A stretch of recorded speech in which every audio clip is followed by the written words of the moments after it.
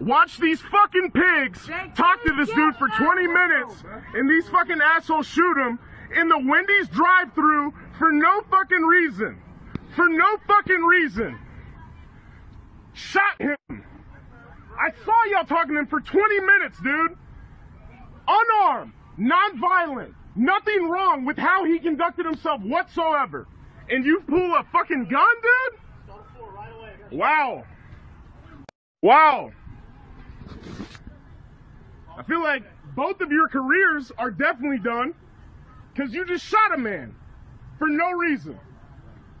This pig and these two. Yeah, suspects hit by your bullet, dude, for no reason.